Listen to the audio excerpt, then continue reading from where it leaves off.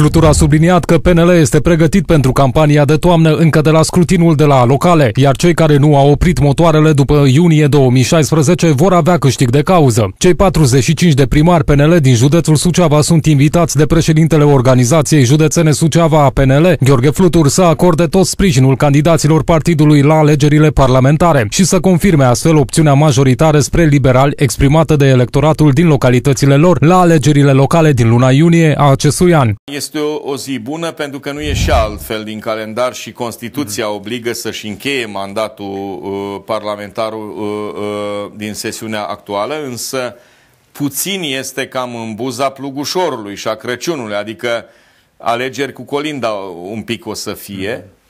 Mm. Uh, cu o săptămână înainte era acel weekend cu Ziua Națională a României și sunt mai multe zile libere și eu cred că de asta s-a ajuns la concluzia că va fi 11 decembrie. Mhm. Bucuroși le-om duce toate. Bun, pentru pe... noi, pentru Partidul Național Liberal, suntem un, un partid care uh, avem 4x4 și ne descurcăm și o să ne descurcăm foarte bine. Liderul liberalilor a declarat la Bucovina TV că este dispus să garanteze pentru echipa care va candida pentru Parlament, fiind conștient că rezultatele depind și de performanțele sale de la nivelul administrației județene. El a avut și un mesaj pentru colegii liberali care vor neapărat să ajungă pe listele PNL cât mai în față. Campania pentru parlamentare a început de la locale. Și eu le-am spus colegilor mei, și ei au sau au avut șansa să se rodeze în campania de locale. E mai greu pentru cineva care vine acum cu păpuși de lac și cu talpa e, neuzată să gândească că va avea succes. De aceea contez foarte mult pe cei care au făcut în local efort și am să vă spun și de ce.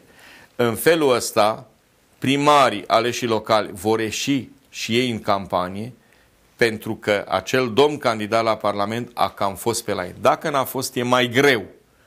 Eu sunt optimist și o să vedeți, la alegerile parlamentare va conta foarte mult cu ce soluții vine partidul, ce vrem, ce vrem să facem cu această țară, ce vrem să facem cu acest județ.